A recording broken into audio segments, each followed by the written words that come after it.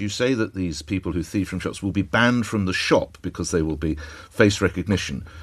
Do you expect security staff to turn some of these people away? What's your message to them? And indeed, we know now that many stores tell their security staff if someone runs off with £50 worth of whiskey or lamb chops, don't chase after them. What are you saying? So we've been working really closely with retailers, and actually I'll be visiting uh, some later today, who have helped develop this plan together, as I said, with the policing uh, minister Chris Philp, who's done a superb job. He was just seeing retailers in uh, Downing Street last week. A very positive meeting about the cooperation we've been having, where you can use facial recognition, the police national database, together with shop CCTV. But what's your message to to catch security people. staff? Well, we, that we've got your back.